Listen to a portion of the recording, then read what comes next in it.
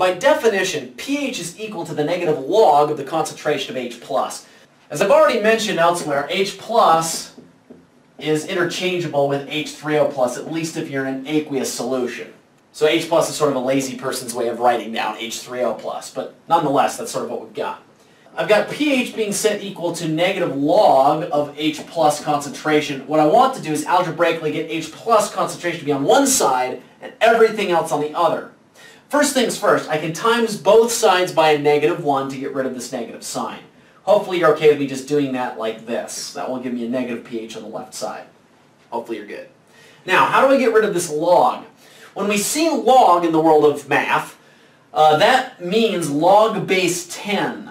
So it's a logarithmic scale based on base 10. Anyway, the way we get rid of a log is by treating this whole thing as an exponent over 10. And we do the same thing to both sides. In other words, if I raise 10 to the log of the concentration, this now becomes an exponent over 10.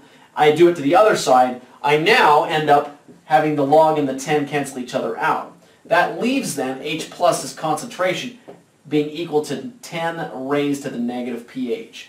That's a beautiful mathematical expression because if you know the pH, you can calculate the concentration of H plus, and conversely, if you know the concentration H plus, you can use it to calculate the pH.